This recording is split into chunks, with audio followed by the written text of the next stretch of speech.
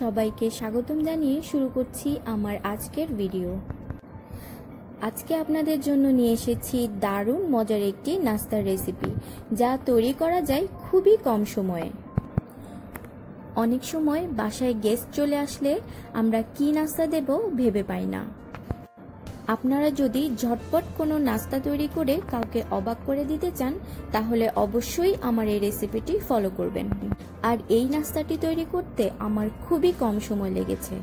তো চলুন দেখে নেই কীভাবে কম সময়ে আমরা দারুণ মজাদার এই নাস্তাটি তৈরি করে ফেলতে পারি।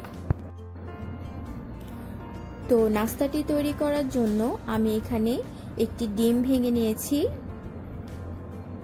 তারপর ডিমটাকে ভালো করে ফেটিয়ে নিব।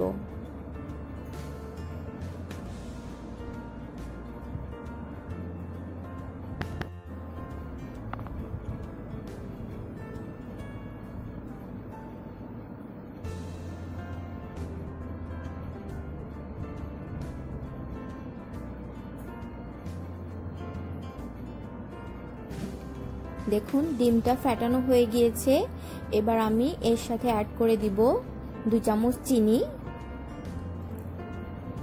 আপনারা যদি মিষ্টি বেশি খেতে চান, তাহলে আর একটু বেশি দিতে পারেন। তারপর এর সাথে অ্যাড করে দিব হাফ কাপ সুজি এবং হাফ কাপ ময়দা। তারপর দিয়ে দিলাম এক চামচ বেকিং পাউডার, এক চিমটি লবণ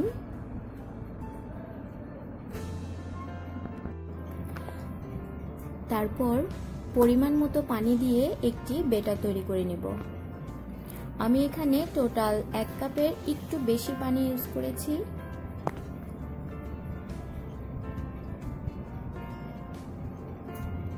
তারপর সবগুলো উপকরণ ভালো করে মিক্স করে একটি বেটার তৈরি করে নিতে হবে।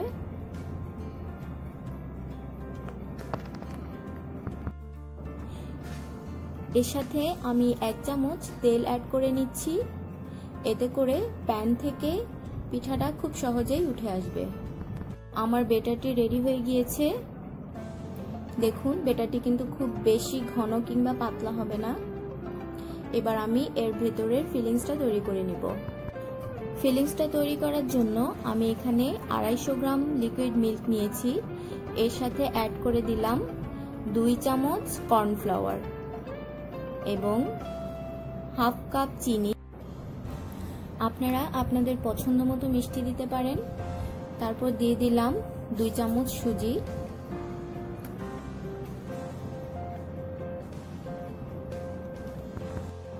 তারপর দিয়ে দিব দুই চামচ ঘি।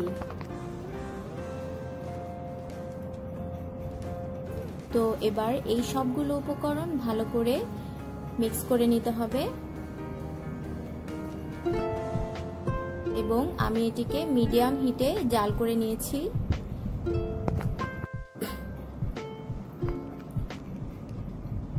একটু কালারফুল দেখানোর জন্য আমি এর সাথে অ্যাড করেছি অরেঞ্জ কালার এবং অরেঞ্জ ফুড কালারটি ভালো করে মিক্স করে নিব।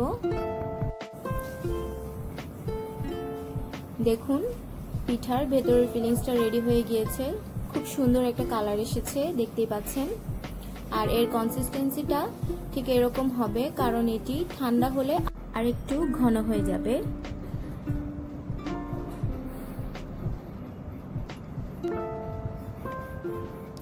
তো আমি চুলাটা অফ করে দিলাম। এবার আমি একটি প্যানে একটি গোল চামচের সাহায্যে পিঠার বেটারটি দিয়ে দিলাম। দেখুন এটি এক মিনিটের মধ্যে হয়ে যাবে। তারপর আমি পিঠাটি তুলে নিচ্ছি। দেখুন। এবার পিঠাটির মধ্যে আমি এর ফিলিংসটা দিয়ে দিলাম।